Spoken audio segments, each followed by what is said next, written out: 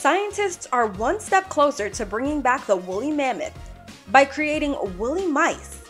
Colossal Biosciences, a Texas based company, has genetically engineered mice with mammoth like genes, giving them a thick, woolly coat and a resistance to the cold.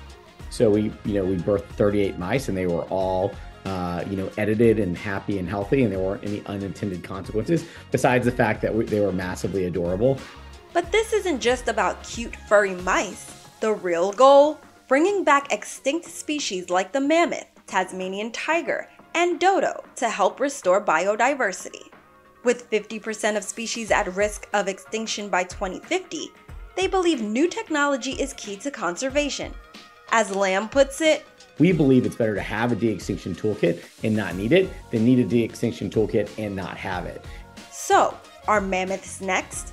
Maybe, but for now, we've got some very fashionable mice.